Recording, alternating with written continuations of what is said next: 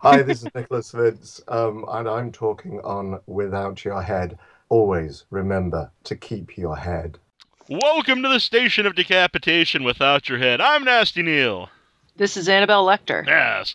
And joining us is the return of Barbie Wilde of Hellbound, an author of the Venus Complex, and now Voices of the Damned. It's a pleasure to be here. It's a pleasure to have you here. Oh, Yes. So Voices of the Damned, um, it comes out in paperback very soon here in uh, in April. But it's yes. it's been out now. What's what's uh what's been the reaction uh the book? Well, it's b- I I'm I must admit I have I've been very um, chuffed, as the British say, about the reaction. One thing was that the book got reviewed by Publishers Weekly. It got a starred review, which is one of their top, you know, their big recommendations, and it was. You know, they gave it a great review, and I, I was really, I was surprised that it accepted it for review because, you know, my publisher is an independent publisher. He's not a big publisher, and they very rarely review independent publishers. And they gave it a great review, and because the, the Hellbound Hearts anthology, which had my first short horror story in it, Sister Cilice, which starts this collection, um, they gave a terrible review to when that came out in 2000 and when was it? 2009 um, so i was just steeling myself to you know a bad review and that was sort of the first one and it was wonderful. And uh, for the most part all the reviews have been great. And people have said this is their favorite collection of horror stories. And I, I think also because there are three female Cenobite stories in it there's kind of a narrative arc of uh, the, the adventures of Sister Cilice in it too, which pe- the fans of Hellraiser have liked. And if you're not a hell- fan of Hellraiser, you can like my disgusting zombies or the um, the really filthy vampire story or the um, ridiculous writer's block, which always I always love. So um, that it's just been a wonderful reaction. I've been thrilled, and also because each story is accompanied by this has been a bit of a dream project for me because I thought when I have a collection out, I'd love to have every story illustrated by a great artist from the horror genre, and that's what's happened. It's even the paperback has got full color illustration of each story that accompanies each story by people like Clive Barker, Daniel Serra, Nick Percival, who did the Hellraiser bo- uh, Boom comics. So uh, it's just been wonderful seeing these artists interpret my stories as well. It's like a, a double whammy. Yeah. Is there any reason for the order of the stories? Did, did you uh you know why they're ordered the way they are? Um, well, that's so difficult. If you, you know, because each of these stories was pretty much written in its own time, if you like. Um, I, somebody says, "Hey, Barbie, you want to submit a story to my anthology about demons, or you know, about phobias, or about these all happened over the years." And so to put an order into it, it it's like, oh wow, how do I I sort this out? But I figured, well, the Sister Celeste was the first one, and it's about a Cenobite, so that seemed to be the natural to be. And because there are three of them, I thought let's space them mm-hmm. out one in the beginning, one in the middle, and one at the end. Uh, the next one is Zulu Zombies, which is just a personal favorite of mine. And I thought, well, you, you have something that's kind of weird and eerie, like Sister Cilice, you follow it with, you know, a rollicking gore master roller coaster of, you know, the zombie vomit and sex. yeah, Um, that's fun and just totally over the top. Uh-huh. when, but no, it was tough. It was tough, but also it's like because there's so much um, erotica in there, I had to sort of balance. Okay, I would, you know, you have this zombie rape, and you have aliens, and you all these other things. You have to sort of sort out. You know, I had to go through the stories and make sure there wasn't too much repetitive description of certain uh-huh, acts. uh-huh. Um, but you know, zombie rape, vampire rape, alien rape, Uh-huh. demon rape. So Sounds right you know, alley. This uh, the other day. Yeah, it's a Really? common. It's a Oh, common there's a whole other genre of uh of sexy monster books. I I don't think they're quite the same caliber. no, I don't believe Um, so. Monsters Made Me Gay When there's also like, oh, they're hilarious though. That- Well, I haven't read them in full, but No. just reading The the, uh, the descriptions are descriptions hilarious, on. Amazon, whew, it's hilarious. Not not quite up up to your level. No. What- Oh, but thank you. well, there, there's one sort of slightly complainy um, guy. Bless him. It was a good review, but he said, "Oh, I think this book has got too much sex in it." And I was thinking, can there ever be too much sex? I mean, that's just you know, I don't go out to write stories with sex in them, mm-hmm. but obviously it's all part and parcel of being human, which is why I was interested, you know, with the Venus complex of writing the sexual mindscape of a serial killer, because he must think about sex, mustn't he? Mm-hmm. Mm-hmm. So, but the- to me, it's all part of being human or being a demon or being a vampire. Is that obviously they have to procreate or do something some way, which is why I like to explore these themes. But there, there are some stories that don't have sex in them, like Polyp. I can't Mhm. imagine sex in that one. But um, no, I, th- it was sort of, you know, thought about.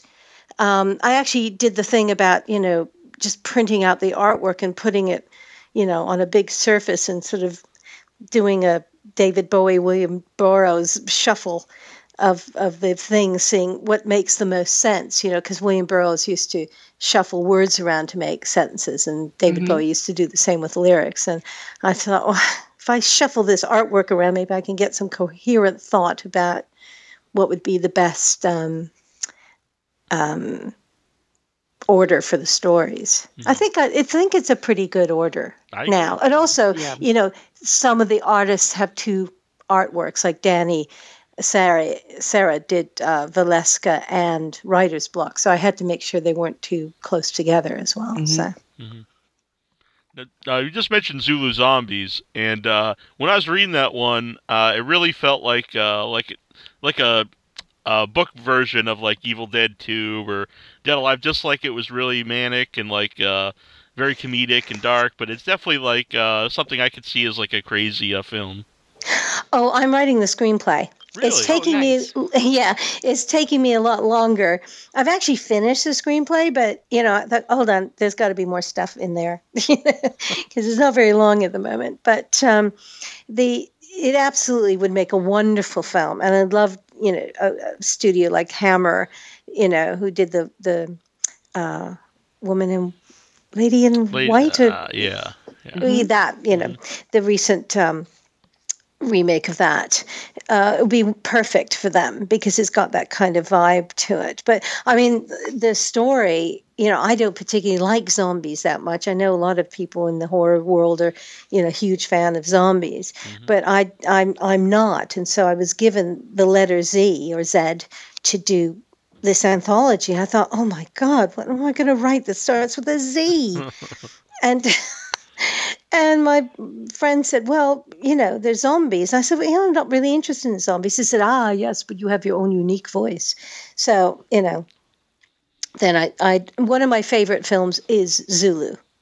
I think it's a fabulous story. So that was the the um, the actual screenplay starts in Rorke's Drift, and uh, in South Africa, right after the battle, and uh, it's you know an extraordinary story. Which, of course, now you know that one would say, oh no, the horrible colonialism of the Brits coming into South Africa and stuff like that. But at the time, it was just 150 soldiers against what was it, 4,000 or 6,000 Zulu warriors, and they managed to survive. It's not like they beat them or anything, but they held out long enough so they had to go off someplace and and um, actually eat breakfast. That's why they left. It wasn't the matter of, you know, the Zulus just were in confusion. They just felt they had to go and eat something, and they didn't win over these guys. So, but uh, anyway, this is the uh, the beginnings of that story, and then it just I don't know where these things come from in my head, to be honest.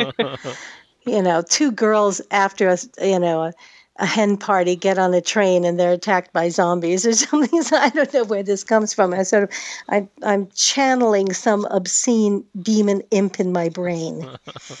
How often do you have to hold yourself back? You have these thoughts in your brain and you go with it and you write it down. But how often do you have something come up and you think, I can't do that? Does that ever happen?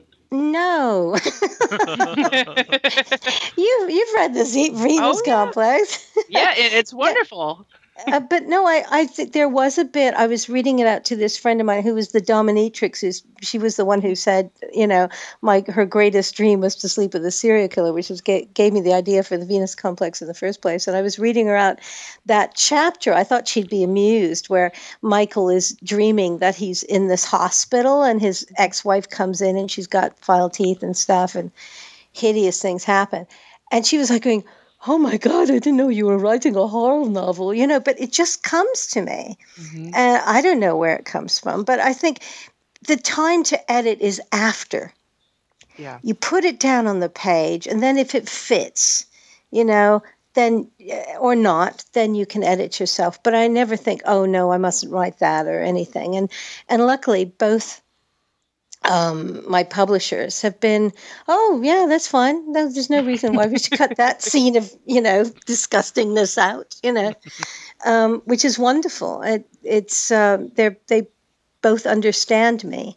Uh, that'd be a problem with them, but. Um, no, I, I think that you have to give your imagination full rein, and, and when you read it back, and I do that sort of obsessively, you know, if I if there's something in there that doesn't work, then it's it's gone.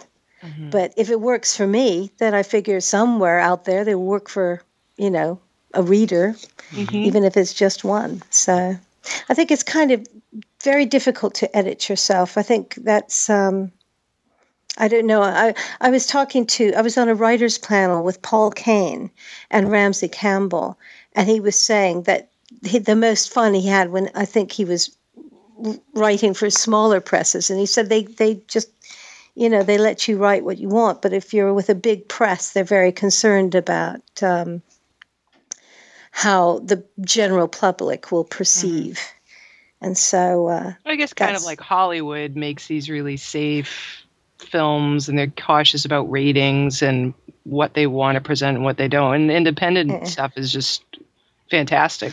I, I'm still amazed. You know, you think about Basic Instinct, right? That Mhm. ever got made. How did that film ever get made with Michael Douglas? Yeah. You know, because it's a pretty sexy film for a mainstream Hollywood film. Probably because Michael Douglas was in it. Yeah, well, exactly. No, he loved the idea. Yeah. But, you know, I just wa- rewatched Mad Max again, and for all the, you know, we can sort of rail on about Hollywood and stuff, but that is an outrageous film. Mm-hmm. And it's it's uh, very violent, and, and the imagery is astonishing. And they, they, of course, it took a long, long time to um, to get it to the screen but they, you know sometimes they do come up but you know of course it's it's a lot of it is very very safe and funnily enough what i find interesting is how much more adventurous stuff is coming through tv now I agree 100%. Yeah.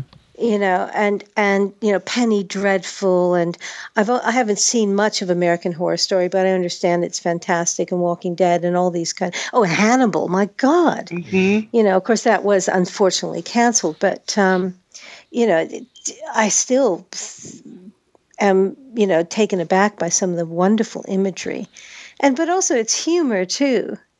And, uh, I think people get uncomfortable when you mix the little genres of, oh, this is horror, but we're looking at it in a kind of ironic way. Yeah. And, uh, people don't quite get irony sometimes and but i think there are a lot of daring things happening in the in tv hmm Yeah, I think so. The the last uh, 10 or 15 years has been like a golden age for uh, for television shows.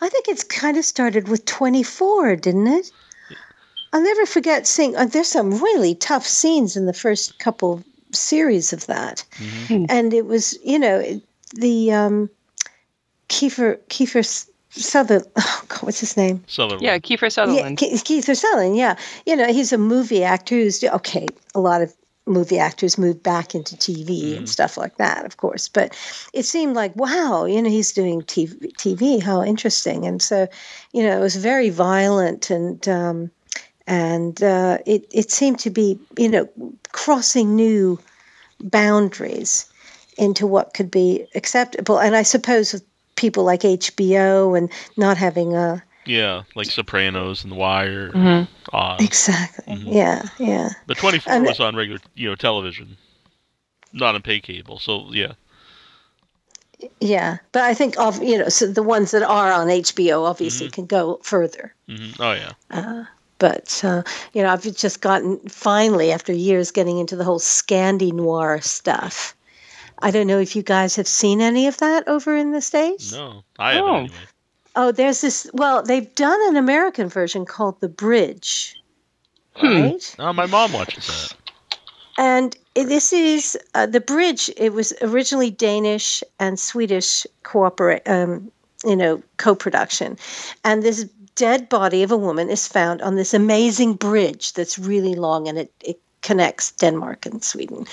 And they, it's right in the, you know, so the Swedish detective who has Asperger's, very interesting hmm uh, she says, "This is my case," and the you know the easygoing Danish guy says, and then they discover that it's the top half of the body is this Swedish counselor, and the bottom half is the bottom half of a Danish prostitute. Wow. this has already captured my imagination. it's just one of the best things I've ever seen. Now, I think they've done an American version that takes place on this bridge between Mexico and America. Mhm. And so it's a Mexican detective and an American detective working a case. But it's, I can't recommend it highly enough. Absolutely fabulous uh, stuff. IMDb, Um, page, IMDb page is open and will remain open until I Yes. so there's, you know, there all this good stuff happening in, in Europe as well as America. hmm Um, so that that would be, you know, the ideal thing is is getting something happening. You know, I, I'd love to see a TV series made of the book. Say Oh, wow. Voices of the Damned. You know, sort of like you know the style of Night Gallery or hmm Twilight Zone or any of those kind of things. You know. Um, and also, there's so much more horror on TV now, isn't there? Mhm. It's great. And, and there's not many shows anymore that are one-off stories. They're almost all, um, you know, Serials. one yeah, one ongoing uh, story arc. Yeah, yeah. Yeah, but you see, that's that's what I loved about the Twilight Zone and Night Gallery and Outer Limits. That they Yeah. all had these like little, you know, each episode was a different story, and you had some of the best people in the world writing them too. and starring in them. There's always great guest cast. Yeah, yeah. So, uh, uh, of course, back in those days, they were just starting out. You know, Robert Culp went on to do, um, you know, great TV series and stuff. But he was in one of my favorite um, Outer Limit episodes, "The Demon with the Glass Hand." I think Hmm. that was him. Um, oh no! What if I've made a mistake?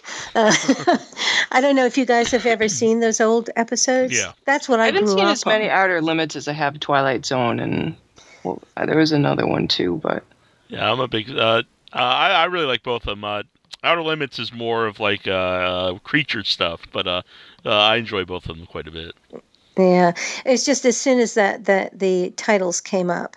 Actually, did we think talk about this the last time we were talking? I remember mentioning this to somebody, but um, I think it's because it. You know, my brother, bless his cotton socks, made me watch all these scary movies when I was a kid, so it made me into this rather sort of fearful child. But it certainly got my imagination going. Uh-huh, uh-huh. so that's really interesting because when I was a kid, I got I got freaked out by by horror movies. And I remember seeing Medusa and Clash of the Titans scare the hell out of me. But now I love it. So at what point do you transition from being creeped out and then really just going for it all the way? I don't know. I don't know. It's strange, isn't it? I think it is a the fascination. I mean, we, we're all still, you know, fairly. You're all still sitting around the campfire telling stories to m- scare us more than the saber-toothed tiger that might be, you know, lurking in the shadows. And Mhm. and I think it is a very basic. Um, the whole storytelling thing is it's a basic need of humans. I think, and uh, you know, when you're a little kid these kind of movies really um, I, I mean i still can't watch invasion of the body snatchers the original 1950s version Yeah. I, I, it was on tv recently and I, I was just looking at a computer game and my partner said, Aren't you going to watch the movie? I said, No, because I'm too scared. because this movie scared the shit out of me. Um, when I was a kid, it was this, you know, the pods. It was like the parents put the pods under the bed. You know, mm-hmm. you couldn't trust your parents. I mean, that's the basis of another story: is botophobia, fear of basements. That's my childhood basement I'm writing about, and there was a locked room. Wow. In our basement, we couldn't go into, you know, and um, and when they opened it up and took stuff out, there was just this little Victorian baby carriage there. Oh. oh no! So creepy. Um, but no, there was no dead cat in it. But um, and I always bugged my dad. I said, "Can't we have a?" Um, was all during the time when it was the Cuban Missile Crisis. And I said, "Can't we, you know, build a, a bomb shelter?" And he said, "What's the point?" We'd have to live in it for 30 years. Better to just fry in an instant in a nuclear holocaust. Uh-huh. so I'm like, yes. but these were not words that were comforting to me. You, know? so, you wanted to hear about hiding under your desk. no, I wanted my bomb shelter. I wanted a pony and a bomb shelter, and I didn't get either of them. So um, he was just so scientific, and he's mm. no, no. So I mean, that's why my you know botophobia is a, is a, my homage, if you like, to to all the fifty high, you know sci-fi movies that scared the poop out of me when I was a kid. yeah. You know, especially Invaders from Mars. Mm-hmm. Um, mm-hmm. And uh, again, because it's a kid and he sees his parents being taken over by Martians, you know, mm-hmm. it's just this parent you can't trust anyone. Um, I love that uh, the newer one too that I saw when I was uh, pretty young. Was that the one it's with Karen. Black in it? I think it is. The Invasion of yes. Body Snatchers. No, this is Invaders from oh, Mars. Okay. Yeah, they remade it. Easy. The woman eats a frog, and that Ooh. the hell out of me. Oh, oh, there's a oh. teacher, and you see the back of her, and the kid comes into this room and it's kind of a darkened room and she turns around and she's eating one of the lab frogs and it's just wow because it's just the body is it takes up the whole space of her mouth and legs are kicking around oh oh no i haven't seen that version of it because to me the, the the black and white one which was on tv saturday afternoons it was just to me that was because eh, the brilliance of that one was that everything is shot from the kid level. So when yeah. he goes into the police station, everything is, you know, the police guy comes over his desk and it, it looks like he's on top of the Empire State Building and stuff. And it's just, it's actually quite brilliantly shot, except you can see the monsters you know, are wearing suits, and that you can see the zippers in the back of their ah, the monsters. no big deal. I grew up on old Doctor Who, so to me, it just I think it it helps your imagination work.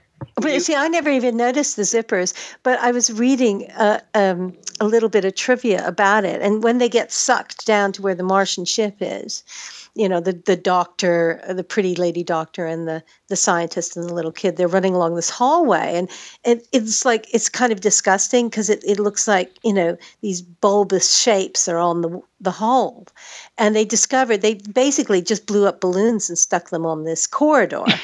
But as soon as everybody ran past they'd wiggle around and they break. So they used they used condoms and they blew up the condoms and then painted them and stuck them on and they were much hardier. See the ingenuity i like that. I like hearing about people just putting this stuff together just making it work. Now and I know some people still do that stuff, especially at the independent level, but hearing about that, just the creativity that would go into things like this that aren't just readily available somewhere. You can't just go to prop shop and get something whipped up. You just had to figure it out. Yeah, I know. I mean, that's why I love all those. Uh, you know, it's just you know hearing about you know how they had two guys who'd always open the doors for the Star Trek, you know, in the 60s. And mm-hmm. sometimes they wouldn't open them in time. So you've got these, like, you know, blooper reels of, you know, William Shatner running full tilt at a door and bouncing back, you know, and coming up and effing and blinding at these guys, you know, because they just didn't move quite quick enough. And, but it, it's, um, no, it's a, it's wonderful about the ingenuity of, of, um, Well, I think a lot of that was, you know, in evidence with with Hellraiser too. That all the f- effects were practical. Yeah. And so they had to come up with certain things that, of course, you know, the makeup and stuff, those were, you know, prosthetic makeup, those were time tested uh, techniques and stuff. But say the glue that glued our, say, m- Doug and mine, Ken's makeup was developed in Vietnam. Mm. It's a surgical glue that they would use to pour into wounds and press them together. And then the, uh, airlift the guys from the field to the hospitals and yeah I Figure that said out.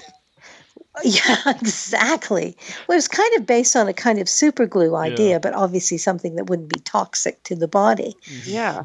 and uh, i just thought wow that's an interesting you know genesis or narrative arc of glue Yeah. it's actually saving lives too sticking bits of rubber onto actors Uh-huh. so Back to the basement real quick, because I have a very creepy basement myself. Oh, What? jeez. yeah, you mentioned the cat dead in the it's cellar. not a cat. It was. I I know. I was going to embarrass Neal by mentioning he's had a dead rabbit plastered to the floor of his basement for years now. When a his dead brother found- rabbit Now Yes. you make me sound like I'm a. Yes, because that's how that is the perception, Neal. Because it is a messed up thing, and you need to be shamed into scraping it up. He still hasn't picked it up. He told this story and it freaked me out. Then shared it with his brother on air, and he he had to go silent on that one. His own brother, and it's So still how did- how- how did it die I don't know. It's just uh, it's just there. I noticed. Well, I did notice a weird uh, uh, the odor once, and I Oh, thought something God. died somewhere in the basement. I didn't know where. And then uh, it was like weeks after that, uh, or probably months, and uh, I noticed it, it's just like the pelt and like the tail. You can see the tail clearly, and he's kind But he must be fairly mummified by now. Yeah, yeah, Well, yeah. it's like roadkill. It's like an old roadkill. It's flat. yeah, I don't know He's, if he shared a picture. I don't think it helped his cause.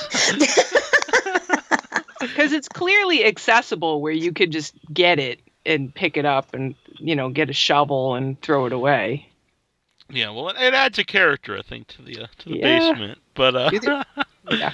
uh, I, I, I, I would would possibly say that it might be time now to give the poor rabbit a decent burial. uh-huh, yeah. I don't know You something know, else just- brought him down. Dig a little, get the popsicle ki- sticks and make a little cross, like we all did as kids, right? Uh-huh. With the goldfish. Uh-huh. and then and then you know just give it a little i've got two stories to tell one was one of my um, sadly it's really strange actually one of my goldfish committed suicide i think it's because my Oh, I'm sorry to laugh about. yeah oh it was just terrifying it just jumped out one day and i found it under the to- under the toaster not in the toaster i think Wow. it you know uh, my mother used to clean the goldfish bowl and she stuck it under a tap and just would run the water and sluice her hand and the little goldfish were still in there Wow. and I said, So Mom, what are you doing?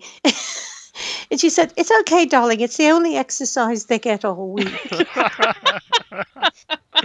So it's like taking the dog for a walk. kind of yeah, yeah, exactly. So when that one died, we had a full burial in the back garden. And then the second one died. And I said, Mom, where's the where's the goldfish? She said, It died.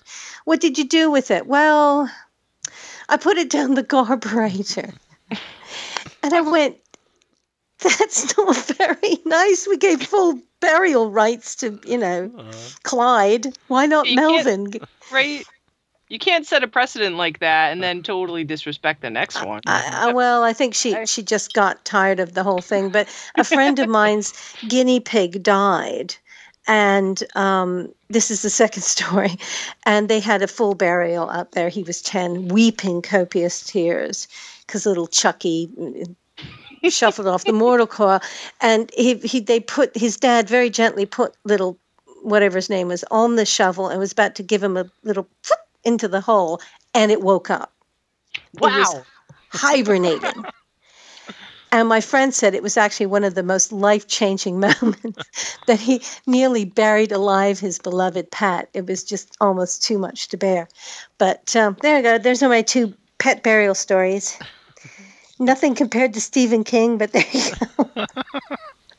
still, still But no, I think your rabbit needs the, the popsicle treatment. uh-huh. and the, and you know in the backyard under a tree put a couple carrots in there so when he goes on his little journey, he can. So Neal, can you be convinced now? You've heard it from many of us. Uh-huh. You got to get rid of this rabbit. If Barbie Wilde herself is telling you Uh, my, It's such a time. kind way, you Mhm. know, take it's the rest of us who just scrape it up. yeah. But But see, how long has he been there? How long has it it's been there? been a couple years now. Years. Oh, years. Oh my God. So basically, you're not worried about bugs or worms No, or it's anything. past that Past point. that. Yeah, yeah. Oh. Yeah, uh, it's horrifying. Even for someone that likes scary movies, this is that's like serial killer stuff. Yeah. Well, my original thought I was I, I wasn't going to go that route. I was just wondering uh, why the, why the room was locked in your basement. I'm sorry. What? Why was the room locked in your basement that had the? Oh, the because um, the the landlord had a bunch of his stuff in there, Mm. and one day they came and took it away, and the only thing they left behind was a little Victorian children's, Oh, you know, um, baby carriage. But I didn't even want to play with it because it just looked too creepy. oh hell no! Why did they leave it? They take everything else. They leave Yes. that. There's a reason. Exactly, exactly. You know, I still have bad dreams about that basement, and I haven't lived there in like 30, 40 years or something. You know, there's certain places that you still dream about. That house, oh boy, you know, and it was a nice house, but it was just this unfinished basement. Mhm. And um, that room that just was, you know, caused so much confusion in my little brain. Going, what is in there? Did you think more about monsters or ghosts or something else? I don't know. I mean, my whole childhood basically was a wash in in worrying about aliens and monsters and big spiders and um, you know I give the little you know thing about spiders as well in the story. Um, that's a really personal story. I probably shouldn't be saying this. Oh, But yeah, on. I do have a problem with basements. Every time I watch a horror movie and someone goes, "I'm going to go down in the basement. You guys go upstairs." I go, "No, no, no, no, no. Don't go down there." So, but it, it's um, I don't know. What was the question? it was something about you telling an inappropriate, embarrassing, or or perhaps funny story about the basement. Nah, you can. So you, you mentioned that story, you know, being personal to you. Uh, which Yeah. is like which is the most personal story out of uh, the Voices of the Damned for you? Well, one has to be careful. Oh no, I do all my research and there's nothing personal about these stories. It's just my imagination, stuff like that. Of course, you know, the fact is I did base this the basement in Botophobia Mhm. on my own basement as a child growing up. My father didn't end up murdering my neighbors and putting them, in, you know, whatever. right. So no, he was actually a very nice person.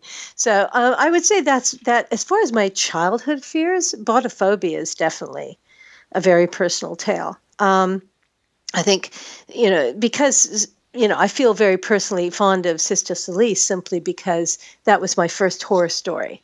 Because I don't really consider the Venus Complex a horror novel; it's a dark crime novel. But now people are saying, well, because it's a serial killer, it is horror. So Sister Cilice, and also writing in the world of, you know, Clive Barker and stuff, that was very interesting. I think personally, the, the, I think the frustration of a writer is definitely, uh, I think writer's block is, uh, there's a lot of, you know, rage and anger coming through in that one. Um, I think right off the top of my head, actually, let me look at the table of contents. Obviously, um, Zulu Zombies is not a personal story. Um, I, I think interestingly, although you know I've never had horrible anything horrible like that happen to me, I think my my one of my fears is home invasion, Mm-hmm. and so I was asked to write a story beginning with you for phobophobia, and I I the only one I could come up with was uranophobia, which is fear of the god of the sky or fear of the sky, but I managed to turn it into a fear of home invasion mm-hmm. because that's what I really wanted to write about. But there isn't a phobia called that.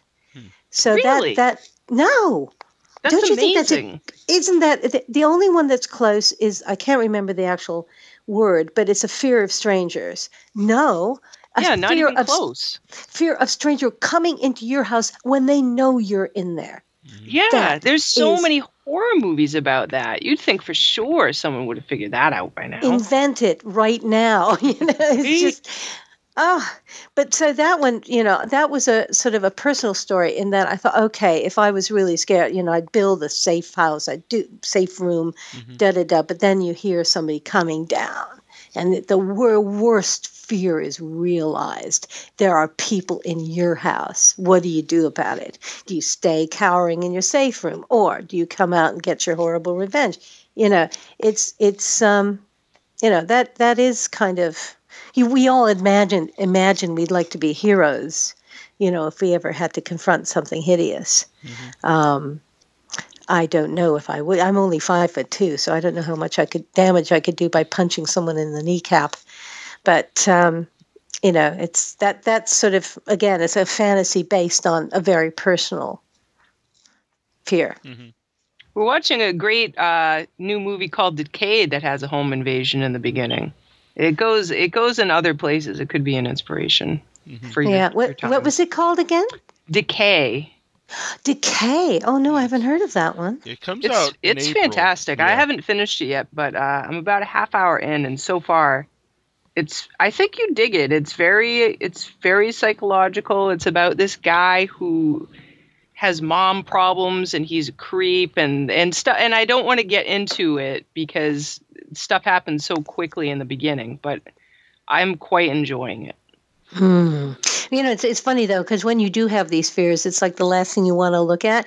It, it's it's because I, I was thinking about the other day how. I mean, my partner doesn't like to watch horror movies, and I don't particularly like to watch them on their, their my own. So, Mhm. you know, but then I've got so much roiling around in my brain. It's almost like I don't really need inspiration. Mhm. you know, it's good to keep abreast of what's going on Mhm. and I like doing that. Um, but I will look into it. But I don't know if you ever saw Henry Portrait of a Serial Killer. Oh, 'cause yeah. there's One of my Very nasty home invasion in that. Mhm. They Um, yes, yeah, but an excellent movie. Oh yeah. But yeah, I'll, I'll never forget John Skipp. Have you read any of his stuff? I don't think so. Oh, he's really great. Light at the End. He did that with Craig Spector. It's sort of a modern vampire story, and it's one. It was on the New York New York Times bestseller list. And he's a wonderful, wonderful writer. But he said, you know, I was talking about him to about you know. Um, serial killers, and he said, "Barbie, you got to see this movie. I've just seen it. It's called Henry Portrait of a Serial Killer. You're gonna love it." You know, so that was my basically my second date. my partner the first film we went to see was um, a short film about killing, which was a real laugh fest, um, Polish film. And then we went to see Henry Portrait of a Serial Killer in this this movie cinema in King's Cross, which at the time was really a seedy area, and everybody looked like a serial killer when the lights came up, um, except us. And I, I just sort of turned around and thought, if this guy wants to go on a third movie date with me, you know, passes the test, but I think he want to choose. Uh, So we- you were kind of like ta- uh, Travis Bickle in Taxi Driver. I was thinking the exact same thing.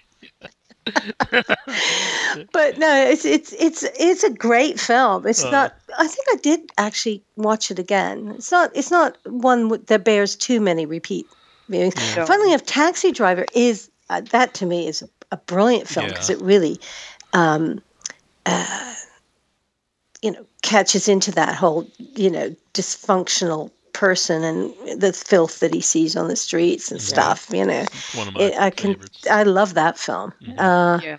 But um, there's another one. Oh, Seven. That was another one that really made a big impression on me as Mhm. well. As Oh, far as serial fantastic. killers, yeah, yeah. I just serial watched that killers. again the other day. It's been probably years, but what a amazing performances by everybody. But Kevin Yes. Spacey, I think that was per- pretty early on in his film career. Yeah, well, he so did. excellent. He did Seven, Usual Suspects, and American Beauty. Pretty much. Oh no, maybe it was. It It was, more like uh, LA Confidential, and those. Mhm. Then he did. Then he did American Beauty. Yeah, Um, but no, this Seven was you know absolutely He- groundbreaking. He now had- everybody uses those titles, Mhm. you know. Yeah. But at the time, it was just like, wow, I'm scared at the at the beginning titles. He had to fight to uh, not get his name uh, in the in the opening credits or in the uh, in the commercials, and um, because he thought it would be it would be a bigger deal than w- when you see him. And uh, Yes. they said that uh, he had to really fight for that because they said he wasn't a big enough star to like warrant like a big surprise. But since he had Usual Suspects and I think it was Swimming with Sharks was coming out, he thought that since he'd come out first, by the time Seven came out, like people would know him Yeah. which it totally Yeah. worked. So, No, it, it it was absolutely perfect. I mean, it was such a shock seeing it was him. It was absolutely brilliant. Um, that's that's interesting. Yeah, it's funny because swimming with sharks. Now that's a horror movie. uh, Have you guys seen it? Yes. No, Yeah. I haven't seen it. Oh, I oh, don't it's just usually do shark anything. Well, it's not Is it Oh, like no, actual no. sharks No, or no. totally not? no, no, no. It's it's basically it's about a guy who goes to work with a film producer played by Kevin Spacey. Oh, and and it's just the the hideous mind games and control freakness that he he does to this young guy and it's it just makes your tummy ache it's so so horrible he's he's really really brilliant in it um but it is uh it's like that kind of real life horror of a, a really impossibly horrible boss Mm. that you have to put up with because you're you want to do something with your life you know you want to climb up that slimy rope um, or ladder of, of success in hollywood Mhm. and i, I rec- recommend it it's a good film Mhm. it's not an easy ride it's very funny it's it's quite bitterly funny isn't it neal i seem Yeah. to remember yeah. It's a it dark comedy. Yeah. yeah I, mean, I I don't think I've seen it since it came out. But I remember you know uh, watching when it came out. Uh, I did want to mention uh, Henry Portrait of Serial Killer when we were at. Is it the Murder Museum? Museum Museum of Murder? it was Museum of Death Museum in of Los Death. Angeles. Yeah, and we saw the uh, the actual paintings by both the real people, both the real uh, serial killers. I actually know someone, Damien Michael, and he's going to uh, LA soon. And I asked him to try to snag. There's a. It was the first room we went in by accident. We kind of went in reverse, and all this art. One of the pieces was from Henry Lee Lucas, and it it's gets me to this day because it's a it's a you know a normal size canvas, and it's this field, and it's cloudy like it could be stormy, and there's this thin strip of light on the horizon and uh, the the subject is this white stallion that's very big in the front of this field, kind of running through the field, and that just gets me because I feel like that's very. It's a very sad painting of this free animal out doing its thing, and then there's this, you know, the storm, this impending storm, and then there's that little silvery maybe that's the sky and the horizon. It just blew me away, and uh, I I want a picture of it so bad. wow when next time in la i've got to go to this place Oh, it's, Sounds fan- it's fascinating. Yeah, it's. Yeah, they've got all kinds of of. There was the art room, and then there was uh, different serial killer stuff. There was photographs of victims. That was very hard to look at. Um, Mhm. but they've got like the Manson family blanket. It's all it's like a, a like an Amish quilt, and it's all um, swastikas, like tiny. You don't even notice it at first because there's so. It's just this nice quilt, and then you realize, oh, that's all swastikas on that quilt. my god jeez This is fascinating, fascinating place. Not giant, but it's plenty to look at. You could easily spend hours there. It's fascinating. I'm ashamed to admit it, but you know, because I haven't read any sort of um, serial killer stuff for a while.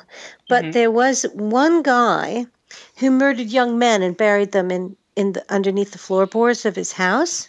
I Gacy. John Wayne Gacy, the guy. yeah, it's just- him, and he did the clown paintings. Yeah, yeah. Yeah. I think he gave uh, the guy there, who was investigating him um, from the FBI one of them. hey, this is my clown painting from the guy Mm-hmm. I, I captured.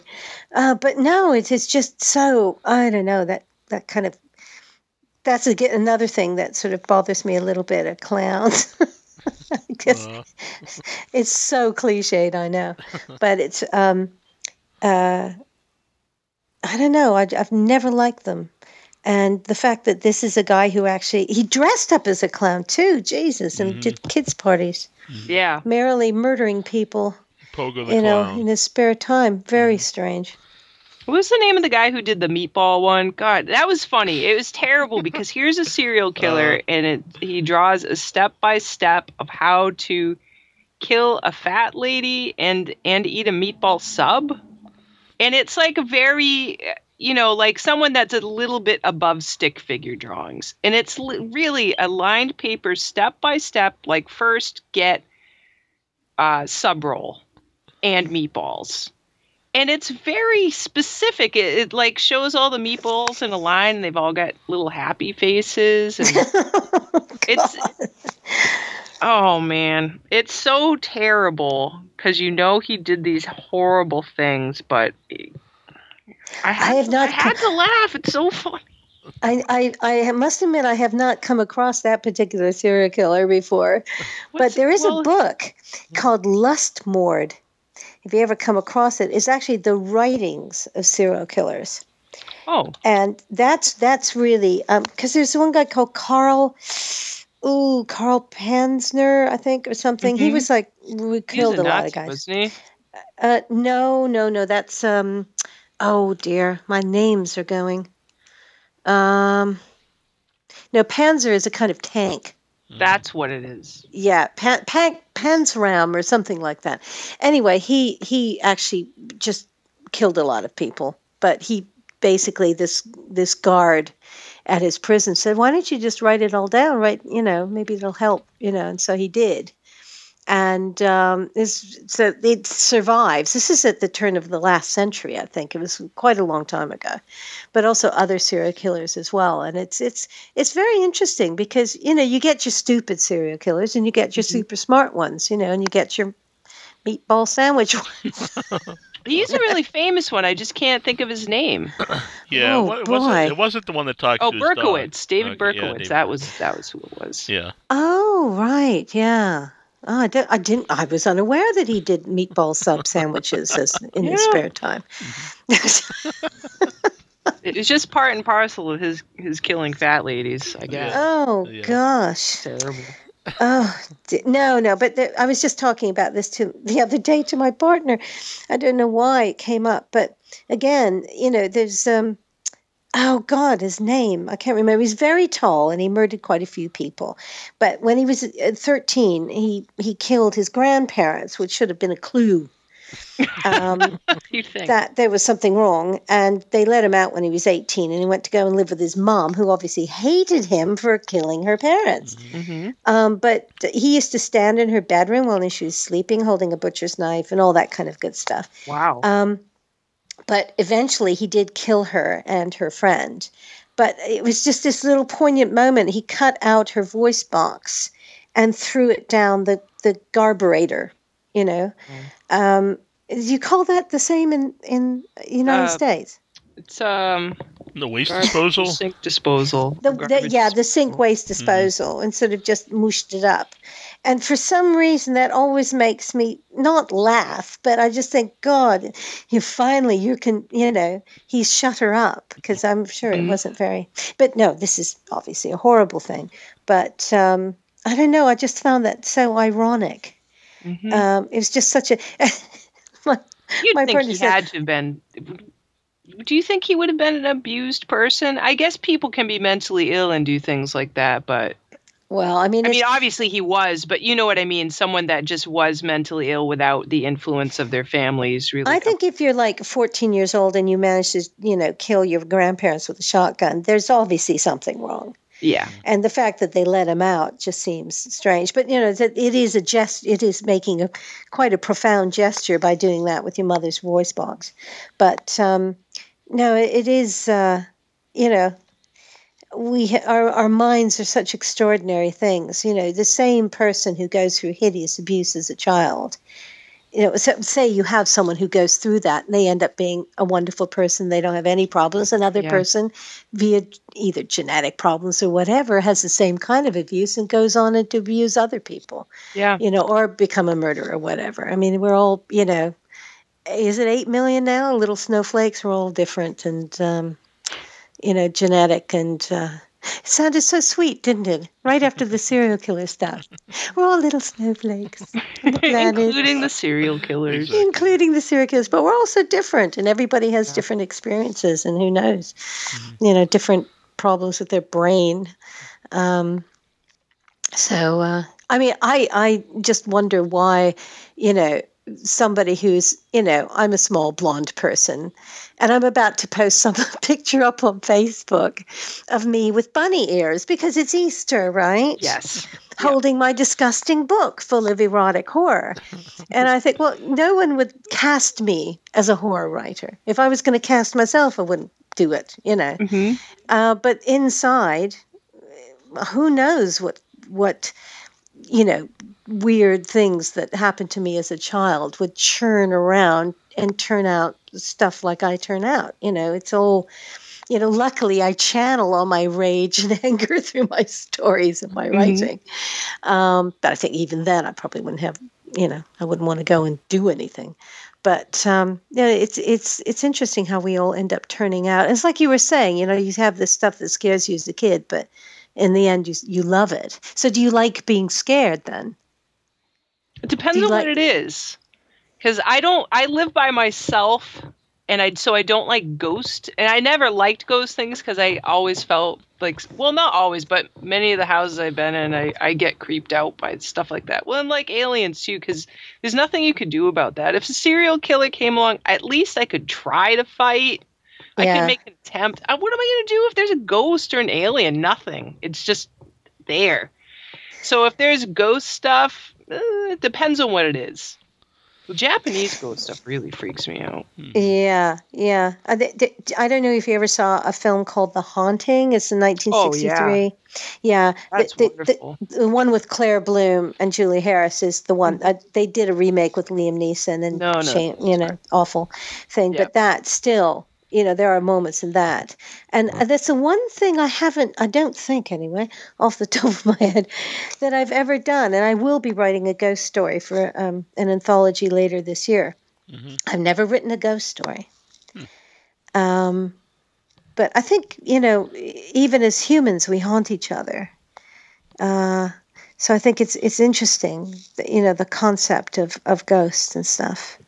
Uh, but I don't know. I, I, I do, am I scared of ghosts? No. I, I you know, uh, if I go into a house, um, a friend of mine actually was looking for apartments, and they walked into an apartment, and both he and his partner looked at each other and said, "We don't like this place. We got to leave." Mhm. And he said he is not a fanciful person, hmm but he said there was something there. And he said if I was going to believe in something, I might believe in ghosts, but certainly we both felt something Yeah. really bad had happened in this flat. You know, and we just got out of there as soon as we could politely could. This apartment is next door to someone. Um, I had a friend that lived next door to me that that ended up getting me into this place, and they had covered the kitchen with rug because there was blood stains on the floor from a murder that they couldn't get out. And then another apartment, my actual apartment, um, found out in the process of getting the apartment that there had been below that apartment. Uh, someone noticed that there was a water stain on their ceiling and it got bigger and bigger and bigger because in my apartment there had been an old man who died in his chair and melted into the floor. Oh So- no! Ew! yeah. Yeah. Oh, and that human body flat—that's just a Dickens to get out. you yeah, know, it did that never melted smelled, human body say that much. It never in the summertime it never came back to haunt my nose. But uh Oh. yeah. Gross. But you know, it's it's funny though. I, I I should you know I'm just a fat liar because that basement. I thought there's something in this basement. You know, Mhm. I never I never wanted to go into that basement by myself. I think that that places can get haunted. That sometimes bad things can leave a residue, or you know, if somebody dies violently, that kind of anger possibly can resonate. You know, we don't know what makes up our universe. You know, there could be dimensions beyond dimensions that we're totally unaware of. That's why I like that film. Um, you know, I'm having a really bad time tonight remembering anything. I'm looking now at the DVD. It's called Interstellar. Right? There's a movie called Interstellar, and it, it sort of deals with this idea that there's, you know, had Matthew McConaughey in it. And, you know, this idea of uh, sort of different dimensions and stuff. That's spooky. How about aliens in another dimension? Well, there's a movie probably not as uh, as classy as that one called Event Horizon with Sam Neill and other people, and I love that movie. And that's it gets into like the alternate universe, demons, and in space. Well, somebody said said that was really Hellraiser in space. it's one. I know there is a Hellraiser in space film. I can't remember what it's called, Part four. but um, Bloodline. Is that the one? yeah, It's part four. yeah.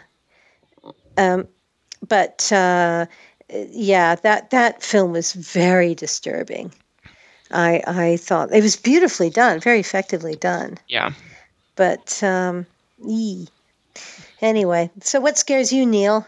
Um, well, actually, I don't want to sound. Uh, really, nothing really scares me. I was watching horror movies since a little kid, but I do like movies that like are disturbing. I think that's why I like uh, Salo and uh, and a Serbian film because uh, not. It's weird to say like I like them, but I think if if something can like uh, make you feel any kind of emotion, uh, I find it interesting, and those movies are disturbing on some level. It's really Oh, funny because when we interviewed the guy that did Nekromantik and we mentioned we enjoyed their movie, it was three German guys, and he was kind of like, I don't know if you'd call it enjoy. I don't know if you enjoy that kind of movie, but what else are you gonna say? I mean, they're good. Some of those movies are great, and joy, I guess. Joy. Do I feel joy? I don't know, but Well, I think if, um, what I often say, the word I use mhm. is I was very engrossed by it. Hmm. It takes you in, hmm and it's um, uh, I, I find that that is it's it might be you know more, it was very engrossing. You know, it's like it, it. I didn't laugh or I wasn't sort of you know thrilled. You know, enjoying it in that way, uh, in the same way I enjoy a chocolate ice cream cone. You know, um, because that gives me pleasure and deliciousness and all these things. But there are things that that you know I'm totally engrossed in, and um, that to me is if you can keep your attention. I mean, some films, some horror films, I have to say, I start watching it and I go, oh my god, please. You know, and I think, eh, twink. You know, and it's just, uh, I, I don't want to, you know, we have a half an hour rule in this house. If it hasn't gripped you by the first half an hour, we turn over to something else uh, you know and um it's like you know there there are these real life things that i find i'm actually sitting on the edge of my seat Mm. you know watching this tv series called the americans i don't know if you guys have seen that yeah, with the Mhm. about the uh, Russians in the eighties. and you're strangely finding yourself rooting for these Russian sleeper agents Uh-huh. because they're finding themselves in these impossible situations. That to me is really scary. You know, I get very sort of nervous about what humans do to each other because we can be really hideous to Yeah. each other, and um, I think that's that's the thing. But you know, that kind of extreme horror, like a Serbian film. You know, I've heard about it. I haven't haven't seen it, and I haven't seen Salo yet either. I have to admit, I haven't. You know, it's almost like I I, I need to see these films, and there are things I do want to see, but. Um, There's no basements in uh, either of them. I don't believe. Phew. Well, Uh, that'll be that's okay then. There's a lot of dark places and and like literally dark in a Serbian film where one scene there's a spotlight in a room, so I don't know if that qualifies. But Salo, there's no basements. I'm so glad. no, I might have. I might give that one a go. No, obviously there are classic ones, but you know, it's funny because at the end of the day, when you're doing writing and stuff like this, and you you're going into dark places yourself, to mm. me, I like to go and look at palm trees or something. You know, it's it's. it's much more relaxing. Mm-hmm. You know, mm-hmm. tonight I'm going to be watching Blade Runner because I haven't seen that in a long time, right. and I love that film. Mm-hmm. mm-hmm. Um, but it's it's it's interesting how some people, you know, obviously there are films I have to see because I want to see what's happening on the edge of of um, you know the, the cutting edge stuff that's happening in the horror world. Um, but it's it's sort of like I, I need to be inspired by my own dark thoughts as well, and it's so difficult sometimes. And also, I get really, you know, I, I get I am I get sucked into films, and it's almost like somebody once said it's a pity that you can't lose weight when you watch films. You know that nervous tension. uh-huh. this watching scary movies diet, you know, because uh, I do sort of get very tensed up when I'm watching certain thrillers and and horror movies and stuff. Mm-hmm. Um, but also I get kind of irritated as well. Like I'm saying, I'm talking to people when they're walking. You know, I think sinister. You know, Ethan Hawke walking through his dark house with a baseball bat.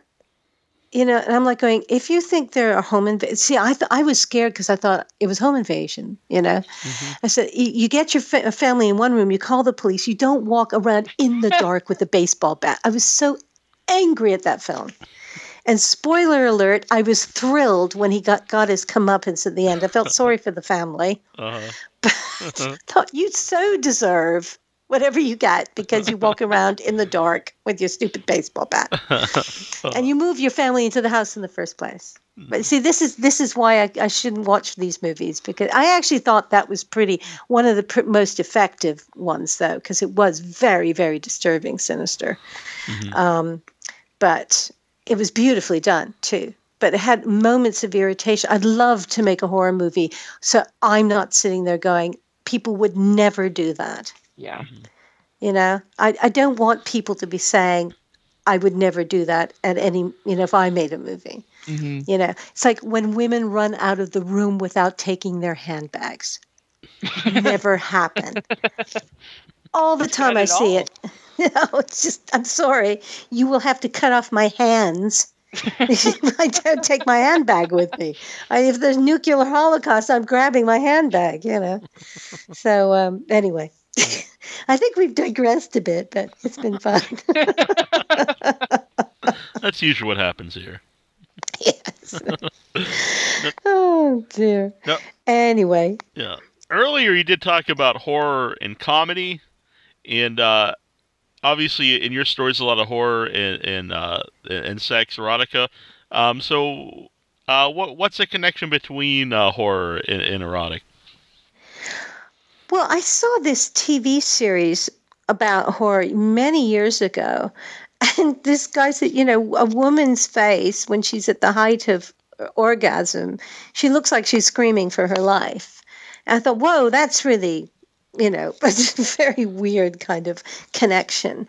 But I think um, why erotica and horror? Um, I'm not quite sure. It just seems to to wend its way into my stories. I mean, I think a lot of my stories are very funny too. Mm-hmm. There's some always got to be a punchline somewhere. But um, I don't know. I think it's it's like I say, you know, if I write a story, there's going to be humans in it, and there's it's all part and parcel being human. And um, I don't know. Also with with women as well, you know, the whole thing about sex is you have to let them in if you know it's it's a it's a surrender the whole act has to be a little bit of a surrender if you know what i mean mm-hmm. and so i mean it's it's i don't know it's it's strange but i think funny. Some one somebody once asked me, you know, have you always been interested in S and M, or did being in Hellraiser spark this? And I thought, God, this is like you know being asked, when did you stop beating your wife?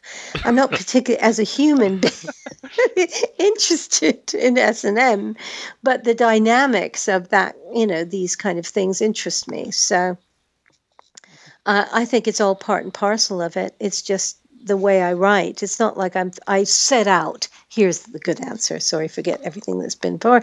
Uh, I don't set out to write an erotic horror story. hmm If I set out to write a story about two girls on a train and they bump into some zombies, it doesn't. When I start to write it, it doesn't. I'm not thinking, where am I going to throw the sex in? Hmm hmm That never happens with anything I write. It just comes. It's like a channeling, like I said, from my evil imp in my head.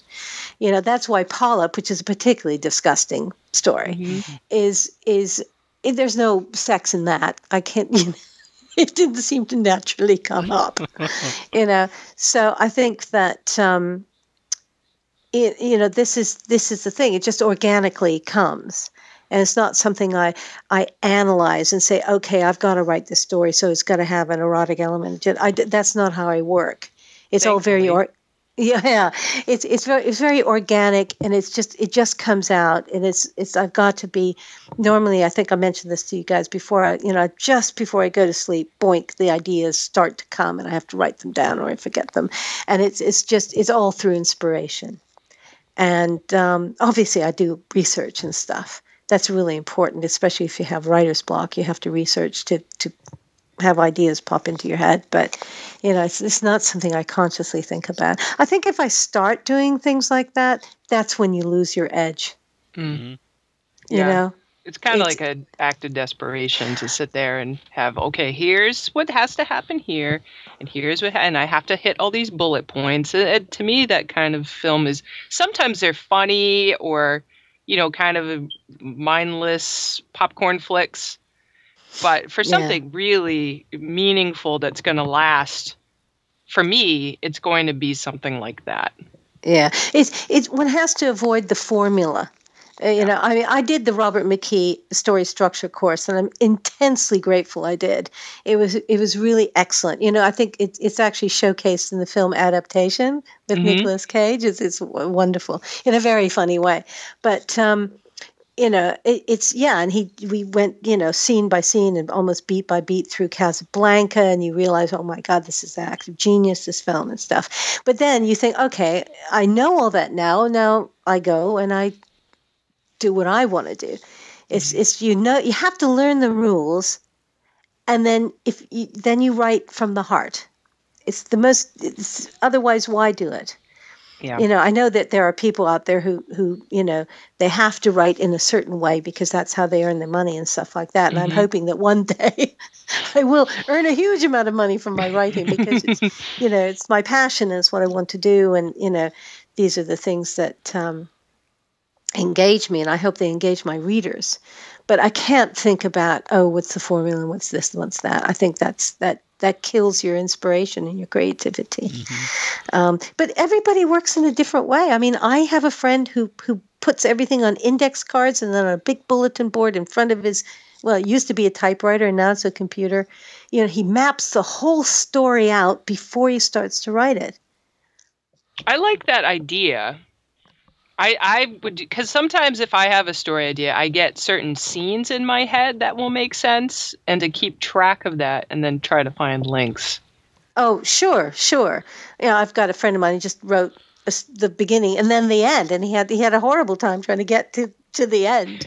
You know, which is hey, that's to me. If you got an end, Jesus, that's fantastic.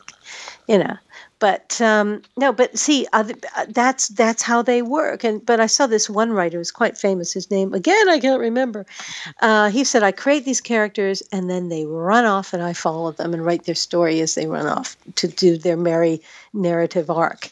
You Mhm. know, and I think, well, that's because I'm really into character and the the people, and it's that the, they gather the story to them you know, when we did this literary panel, Ramsey said, "I'm all about the plot. I'm all about the, you know, the, the actual story."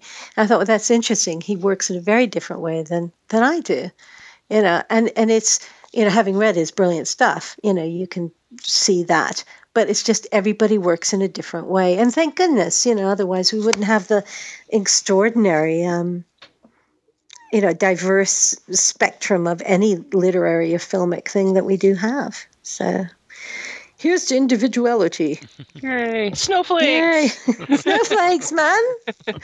Even serial killers can be snowflakes.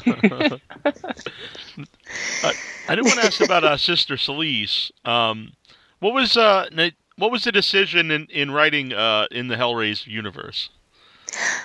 Well, th- I was asked to to contribute to the Hellbound Hearts anthology. hmm And I said to, to Paul Kane, who was the editor, and his wife Marie O'Regan, I said, Well, I don't really write horror. I do this crime thing at the moment and stuff. He said, Oh, no, no, please. You know, it'd be so great to get a feminine, you know, especially from someone who played the female Cenobite. And then I, I remembered that Gary Tunnicliffe, who's directing the new Yeah. Hellraiser um, film Judgment, so he sort of posited the idea that she used to be a nun. Now I have all sorts of lapsed Catholic issues with my mom having been one, so I thought, oh, that's delicious. And this was the only short story I ever wrote that I did in a week. Hmm. It just flew flew out of me. And I was surprised because I thought this ain't going to happen. You know, I was the first one to come back with my story. Paul was delighted, and um, but it just really happened. I thought, "Whoa, this is cool." But it, it's the story of a female Cenobite for legal reasons. It couldn't be about my character. But of course, Mhm. if you've read the Hellbound Heart novella, which Mm. all the stories were based on, the lead Cenobite is a female. Mhm. So that's where that sort of idea came. You know, how would that Cenobite have come to be? And in the second story, it's she designs her own box, which is basically I worked on that story with Eric Gross, Yeah. um, who did design the beautiful box and did the wonderful artwork. And in the third one, you know, at the end of that story, I said the Great Rebellion of Female Cenobites, and then I had to write a new story for the uh, collection, and uh, and you know I had to come up with a rebellion. So that was uh, that was probably one of the most difficult stories to write. I it was right down to the wire as far as publication was concerned. It was the last story I wrote. But I'm very pleased with it. I think it, it ended up pretty good, you know. Mhm. Would you Um, release those as their own set? I would love to expand her world. I would love to see a graphic novel of Sister Cilice. Yeah. And so I have been asking people, and I've got a friend of mine who's um, just got the most wonderful job working for a big firm that I can't mention. But anyway, he made some suggestions about people to approach. I mean, I'd love to see a graphic novel of Zulu zombies. I think, you know, Nick Percival could do the most awesome cover and then, you know, do a graphic novel of that. Um, but the Silesium thing, I think, would be wonderful. I'd love to expand that. Uh, and I think, you know, I know that I'm sure that Clive would be okay with it. Um, God, I've done these three stories as it is. So, uh, Mhm. yeah, I'd love to. Uh, that's absolutely on the cards, is expanding that. Uh, into something more, like I said, either a graphic novel or, or uh, a novel. Mm. The uh, the Valeska story really uh, seemed like it was you know opened up to uh, to continuing. Well, it started out as a novel. Okay. I started writing that ages ago, and then I thought, oh gosh, it, you know, again, it's it's distractions come along, and then you have to do something else. And I, I went back to that and thought, could I turn this into a short story for the collection? And every but the wonderful thing is, everybody has said that. Anybody who's read the story and reviewed it, they've all said, please turn this into a novel so that's that's it's wonderful because that gives me a you know um, confidence boost that I was on the right track and I I, I will re- be returning to that because I think she's a great character and I think it'd be great to expand the war between the the Seminoles and the Sanguines and you Yeah. know more backstory and stuff like that so um, Mhm. so that's definitely on the cards as well hmm Uh, you mentioned uh, Gary Tunnicliffe. Do you have any uh, opinion on the uh, on the new Hellraiser that's coming out? Absolutely none. you know why? You know, because I read Gary's interview with I can't remember. It was Dread Central, Bloody Disgusting. was. And then I read Disgusting, Doug's interview, Yeah. hmm and they both have a point. I've met Gary, adore him. hmm I mean, he was even talking about doing a short you know, uh, working with me on something, but you know, he's got his own ideas, and that's great. I think his whole experience with Revelations was, you know, he was set to direct, and that didn't come off, and he he's not particularly happy about how that film came came out and stuff. And so now he's at the helm, but yet again, it seems like it is just uh, something to fulfill a contract, mm-hmm. and. Um, uh, so I, I, I don't know. I uh, we'll see how what comes out I, I was really hoping that if a new Hellraiser film would come out, that it would have Clive mm-hmm. having more of a an input and Doug back in the in his pins. yeah. yeah, I remember but, a couple of years ago where Clive was writing about how it was going to go somewhere. I he I I I think he is writing the script. I I, I believe he is, but uh, he's got a lot of projects on. Yeah. But also, one has to remember I mean, I actually met the guy who came up with the concept of Fury Road, Mad mm-hmm. Max Fury Road. He was in talks with George Miller. Brendan McCarthy. Yeah. And um, he's he's I've seen his work and his you know he's a brilliant artist and and I saw so much of him in the film again when watching it again. And I met him in 2000. Right, and he was talking about this film. Mm-hmm. So, but you know, getting George Miller on board, getting is is Mel going to do it? No, Mel feels he's too old. Who's going to do Max? You know, and all these things came in the way, and it was dead. Now it's back. Now it's dead again. So, sixteen years. Wow. You know, so if there's a new Hellraiser, you know, in the horizon that might have Clive and Doug involved, you know, and he only talked about it two years ago, you know, it's I don't know if you've seen the f- film Frida, but you know, Salma Hayek was walking around with that script for six yeah. years before she finally got it done. So this is the reality of these situations, you know. Mm-hmm. Um, but I, I'd love to see it give a you know a beautiful big budget.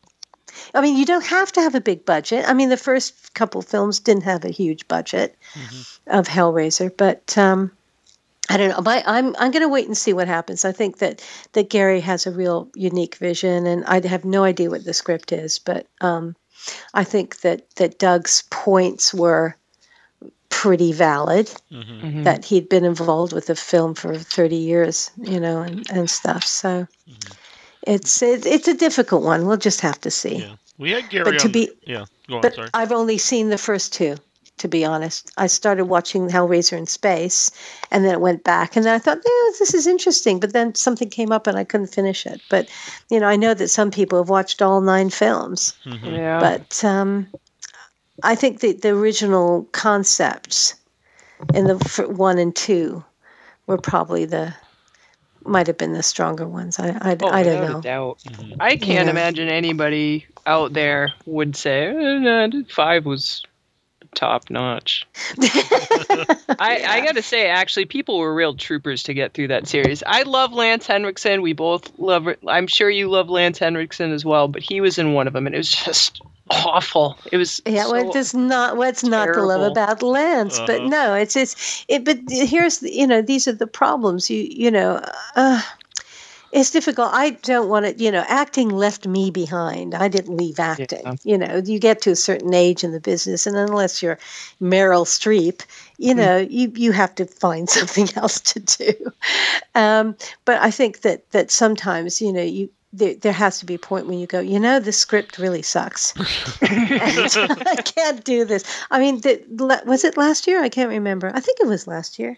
Oh, maybe the year before. Oh God, it's all going funny. Anyway, um, I was offered three different films, and this is I hadn't acted in in decades, and I turned one down because I didn't like the the I didn't like my character, but also I thought, oh, this is too cliched, mm-hmm. formulaic. If I'm coming back, I want to be in something that's really good. And the mm-hmm. one I chose, which was, you know, one film fell through, and the other one was Bad Medicine, and the script was astonishing. I think we actually were talking about yeah. it. Yeah you know, and but it didn't happen. And you made that comment, I remember actually saying with that pitch film, you know, mm-hmm. there was nothing in it to entice me to to um, to contribute. But I think this is why they've they've stopped and they're going back and they're going to be doing, you know, they haven't the idea the project hasn't stopped, but it's oh, good. just they're they're doing short films and building up their repertoire Oh, great. uh, uh, as a director and a producer.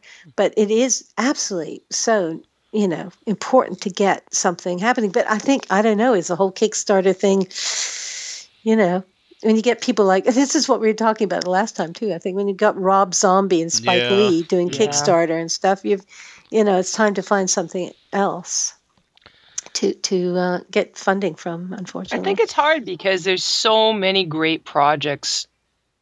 There's just so I mean, we come across things all the time. You come across things all the time. There's just so many amazing things that you've really got to pick and choose, and that's tough because you've got wonderful projects. If You've got the projects of friends. You, it's very difficult to pick and choose between them.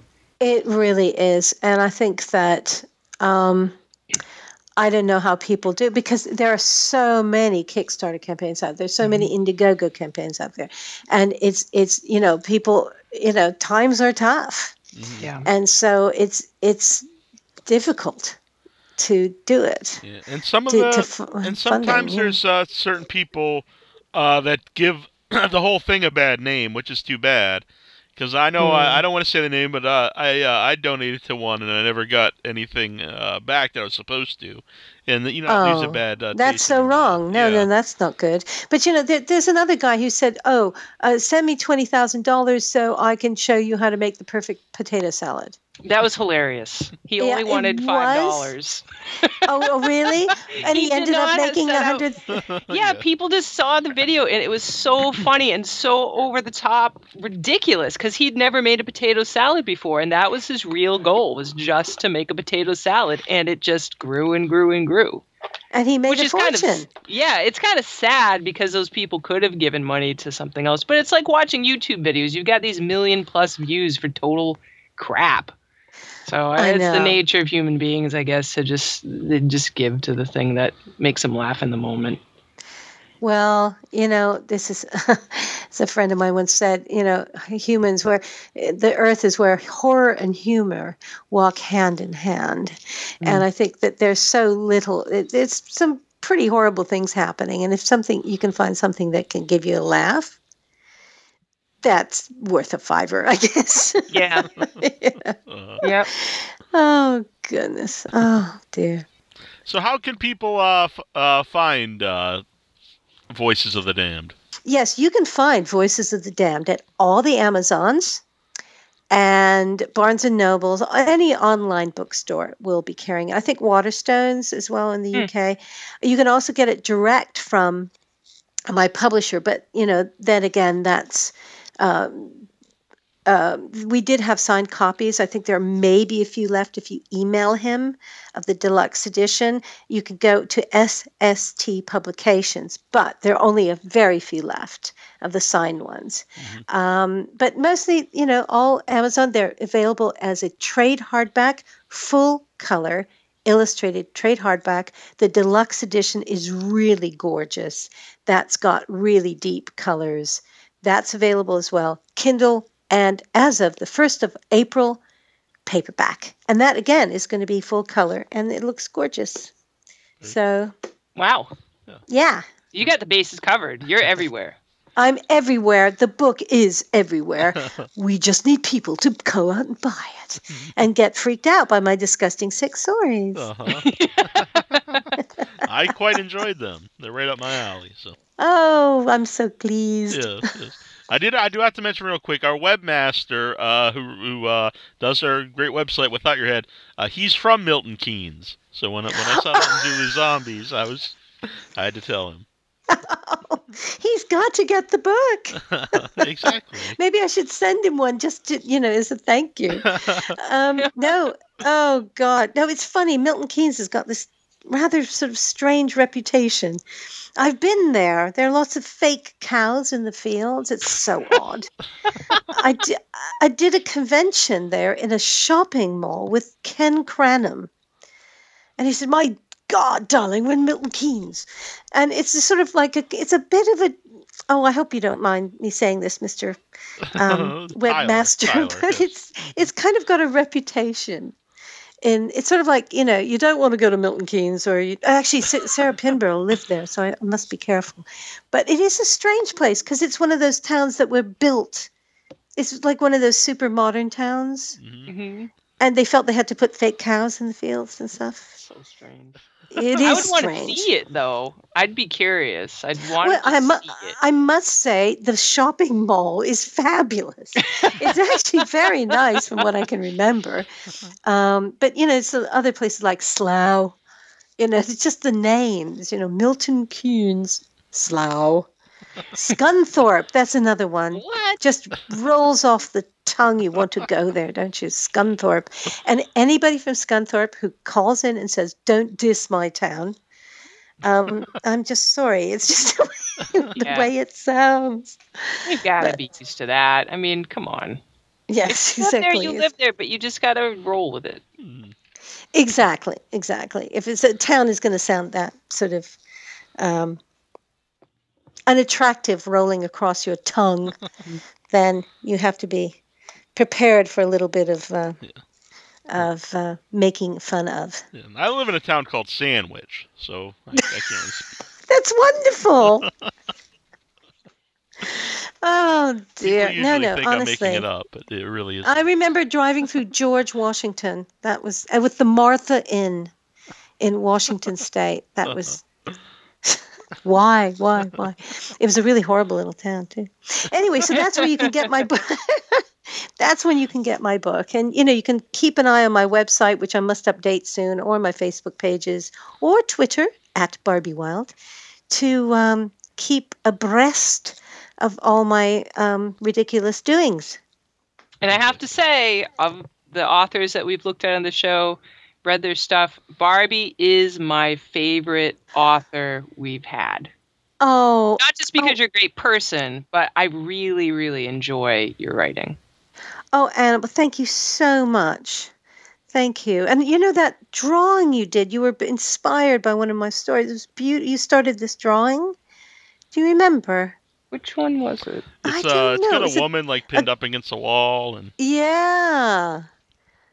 It's like a creature is uh, is having his way with her. Oh my.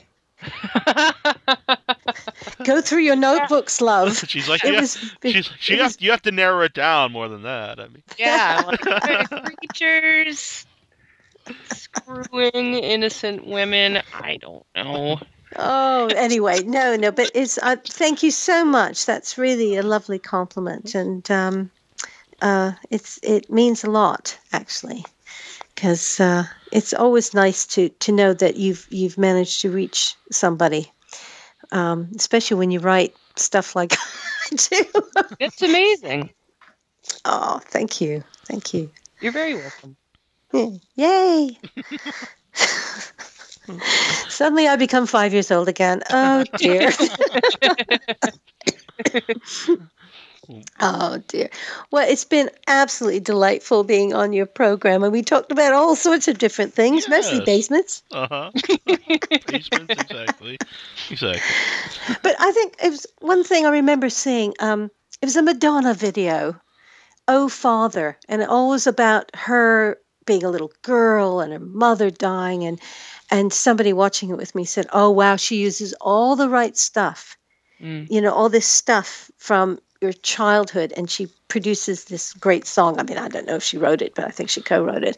And I think that's what comes out in this book. There's lots of things about that I think about deeply and back from my, you know, my own childhood that come out in these short stories and my, the, you know, the things that we're all afraid of and stuff. So, I mean, that's what mm, interesting for me for horror. Just to you know wind up, is that it's an exploration of our our own fears Yeah. and uh, but also it always should have a sense of humor. Was it David Cronenberg said all my all my movies are comedies? or actually, you know, Alfred Hitchcock said the same thing. Really? All my movies are comedies, you know. So it's there's always a comedic element in my Mhm. work, which I, I think is really important, even if people can't spot it. So, um, but Mhm. it's it's nice being with people who, who appreciate and love horror because uh, it's a very, you know, basic and wonderful thing that's deep down inside of us, and it's great to explore it. I have to say, I'll, I'll add on to my compliment that part of the reason, part of the reason that I enjoy your work is, and I don't usually do play off the woman thing, but I think it's very dangerous sometimes for a woman to express that kind of crazy sexuality in their stuff. And it's, We- it's inspiring to for me because as an artist, you know, you've seen some of the stuff and I come up with all these mad things and but sometimes I'm like, well, should I do that cuz it's so dark. I don't know if I should put it out there. And then when I read your stuff, yes. Yes, do it. Yeah, no, no. It's it's interesting. I I you know I, I've sort of mentioned this a couple of times during um some things I did for Women in Horror Month. Is that we- are sometimes our wor- own worst enemies. Oh, mustn't do that. Fa- oh, mustn't do. No, fuck that.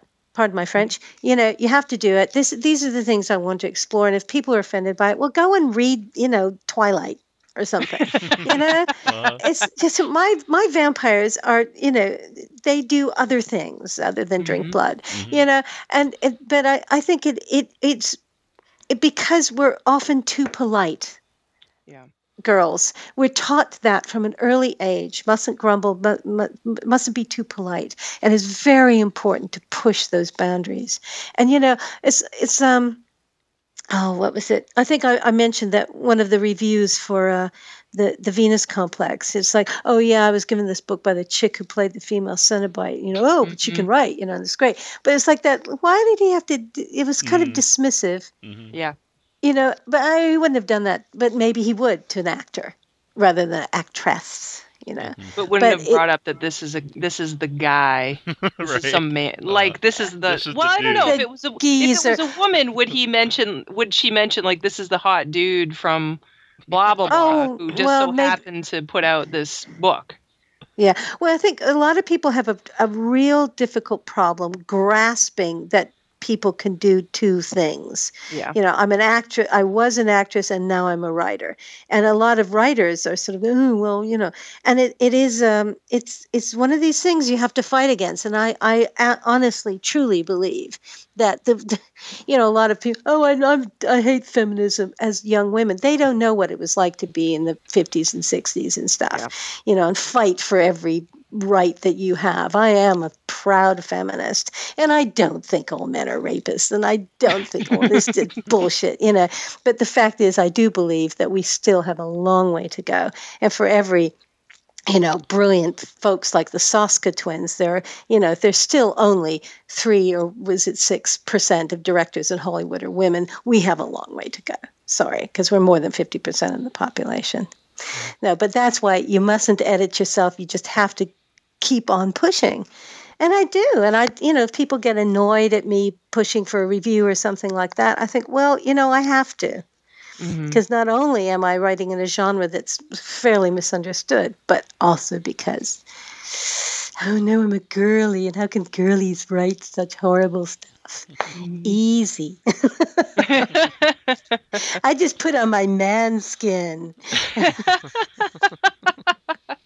and I write like a man. Well, this is somebody was saying is that, oh, yeah, that's right. John Skipp, actually, when he reviewed the Venus complex for Fangoria, said, boy, if Barbie was a guy, she'd never be able to get rid of with some of, get away with some of the stuff that she wrote about women in this book Uh-huh. you know or or you know life or whatever you know Hmm. but i am a woman i don't ask for any special dispensation yeah. but um you know i, I think it's it's interesting that he he should make that comment because you know i just thought okay i'm going to eh, like a character write like a guy who's a serial killer Yeah. it's just like another character it doesn't it doesn't weaken it the fact that i'm a woman i just have to put myself in the right character and find the stuff but anyway who knew i'm rabbiting on but again No, apologizing No, But it's no. great. I think it's good stuff to listen to. Definitely. hmm yeah well no you, you again you must you know don't edit yourself just put it you know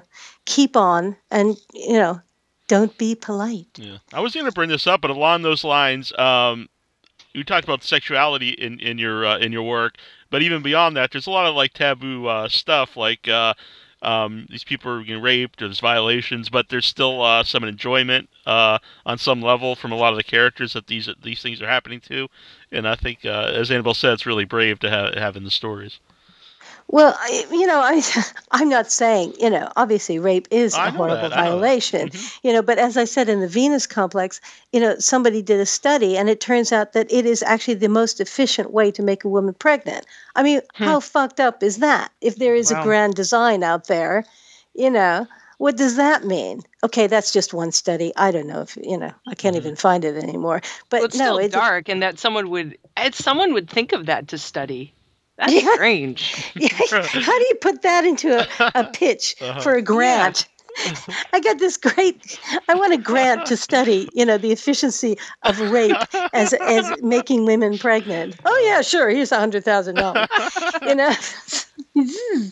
but anyway, no, it is. Um, uh, no, I, I think that there's a, a, a book I read many years ago called The Secret Garden, and it's about women's sexual fantasies and dreams. Hmm. And the the violation, or or was it? It's not a rape fantasy, but it's a ravishment fantasy hmm you know it's like oh well you know it's like if i'm going to get raped i hope i get raped by you know keanu reeves or you know michael fassbender or something you know that, that's not really you know you know what i'm saying but you know there is this kind of you know it's an uneasy kind of thing and it, it all again ends up in the, the interesting dynamics of you know sm BD or whatever it is, and and these kind of things. Like I said, I, I did know someone who's that was her business, was being a dominatrix, and so you know, it was I had some wild conversations with her.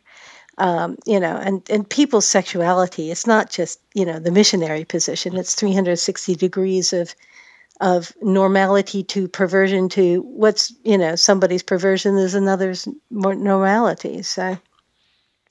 Uh, but like I said, you know, I write about humans, so it's got to have sex in it. Because there wouldn't be 8 billion snowflakes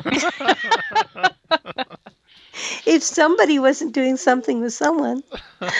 So, um, Uh-huh. anyway.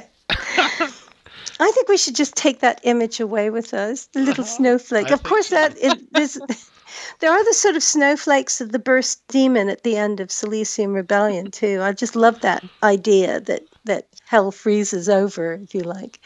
Oh no, spoiler alert! But um, anyway, so So I'm just imagining snowflakes having sex now.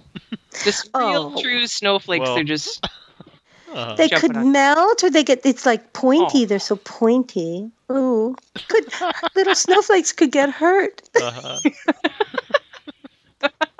I was thinking of the end of the Slut Cracker, which Annabelle and I went and saw, and the, the snowflakes are coming out of the giant candy cane penis. But, this is a real thing. this is not Neal's weird twisted fantasy. uh-huh, uh-huh. They're it's strange. If you're ever in Boston around the holidays, one time at the Slut Cracker will do you for life, but it must be seen. It, it what's it called? The slut cracker? Yes. Yes, yes. And it really has nothing at all to do with the Nutcracker. It's just a clever name, but uh, it's kind of there's a, a couple and they just get engaged and they're having a, a party, and then this bombastic woman comes in the door who's friends with her, and, and her gift to her is a dildo. And then the story unfolds from there. Because the, the fiance, the male fiance, is not happy about it. And then it's it's ridiculous.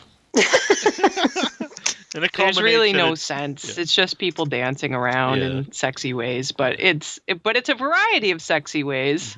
and it culminates uh, in a giant uh, candy cane penis that erupts with And then- uh, snowflakes. yes. And there's a man, there is a, a male dancer who was very very good this past year, and he actually is a, is the human embodiment of the dildo itself. He has a special hat. Hold on, is this uh, is this a movie? Are these people in enacting this? This Yeah, is it's- it's a acting at the like, Somerville Theater every holiday time. They, Aw, this is a this- real thi- performance. Is it for kids? no, no, no, definitely not. children at Children heart, of but not, So- not so in- in in in the UK they have something that's called pantomime season. They have all these guys dressed up as women, and there's a young girl who dresses up as the prince, and they all sort of they, they have fairy godmothers and all this sort of stuff. But this sounds like it should come to the UK. you know, definitely the the slut cracker. that that that's really um, what can I say? have to come to Boston for Christmas. I think we actually saw it on Christmas Eve the first time we saw it. Yeah. It's that's my kind of seasonal viewing. I remember the first time I, I watched the Soska Twins movie. We watched Dead Hooker in a Trunk on Christmas Day, and it just was perfect. You know, with um, you know, Uh-huh. um, margaritas and chili because we do this anti-Christmas meal. Margaritas and chili is a fine Christmas meal, I must Oh yeah, and nachos. Yeah, it's it's it's perfect. It just beats those winter blues away. You know, you don't care if you've got enough tequila in you, but um, that sounds absolutely perfect. And on this note, I'm afraid I'm going to have to go because it's dinner time here. Yes. So, um, but it's been absolutely uh, delightful Yeah. talking to you guys, and thank you so much for reading the book. And I'm I'm so thrilled that you you like my sick and twisted stuff. Absolutely. Mhm, It's fantastic. always great to have you on. So just let us know. Yeah, I know it took way too long to get you on this time, but we'll we'll make it happen next time. Oh, absolutely. And I hope the next time in the states that we can have another. Perhaps not as many quite. There's- the, the legendary cocktail contest, which was truly wonderful. Mhm. But uh, maybe we can just have a few down by the bar so poor Neal doesn't have to do all the hard work. that is totally fine with me. We'll get some margaritas and have a good time. Sounds like a Yes. plan. All right. Oh, great. Well, listen, you guys, take care. Have a great weekend. Thank you, you as well. And uh, I actually don't cover that bunny with, with chocolate, Neal, okay? I think it's gone was- beyond I was being going to go decorate him after the interview. Yeah. Put some little colored M&Ms in his eyes. Ooh. I don't know if there's eyes left, but Oh, oh, Put oh. them into the sockets, into the inverted sockets. okay. Even all better. You shouldn't encourage me. But, no, no, no. Better than what you've got. At least you can make it funny uh, and not just. Well, I mean, it would be sick, but it would be funny sick. uh-huh. Oh, God. All right, Oh, you get your dinner. Have a wonderful weekend, and we'll be in touch and talk with you soon. Yes. oh brilliant. We're lo- looking forward to it. Take care, you guys. Mm, bye. You too.